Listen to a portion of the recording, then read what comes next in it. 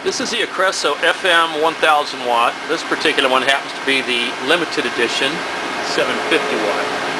So I want to give a tutorial on this uh, because it's really not in the manual and uh, tech support is kind of limited on this. So one of the things here in the US we need to understand on this particular FM transmitter is you don't want to run it on 120 volts. It will work, but it draws too much current. Uh, the switching power supply in this starts to draw too much current and it'll pop fuses and cause some heating and I'll show you how to solve the problem because this is made in Europe and they are want to see about 230 240 volts in this particular uh, transmitter here is the connector that they give you with the Ecreso transmitter. Got two round fangs. Okay, so we don't use that here. So this had to be changed over. You can't do anything with this here. That's obvious. We don't. That's a standard end, EIA type, but don't have those kind of plugs. So it's obvious uh, something had to be changed. So here in the U.S., we usually only have 120 volts. I'll show you how I got around that, and hopefully this will help anybody else that has this particular one here in the US. And this is the back of the unit, and here's the uh, switch and fuse block, uh, which I don't tell you how to remove. I'm going to show you. Just pry it right under there.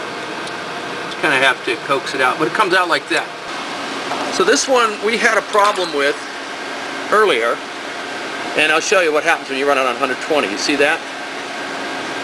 And that's got real hot there it is.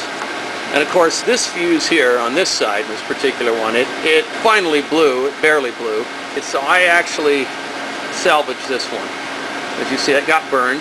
And so I, I actually burnished the contacts and got it working again. So this is alright. That's what you can expect if you run these units on 120 volts. They do work, but it just draws too much current. There's the unit, and it plugs right back in there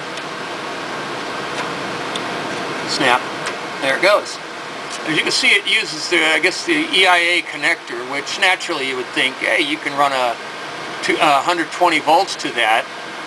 Which, yeah, again, technically it will work, but they don't recommend it because the thing's really meant for 230 volts. It does mention that there. Uh, that's something to watch out for. Anyway, that's how you get this unit out. Sometimes it's not easy to understand how to get it out of there, to replace the fuses here is the one-to-one -one isolation power transformer, good for like 700, 800 watts or volt amps, if you will. So I've wired this up in an autoformer configuration. And here we get the power off this 118, 19 volts, about 120 volts.